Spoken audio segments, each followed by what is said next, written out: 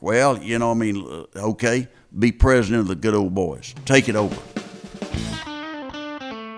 The thing you need to do is find out where everybody went to college, their ma- mascot, and when they went on Saturday, say something to them about it on Monday. You know, uh, get to know them, get to know them as an individual, other than just talking to them about legal issues.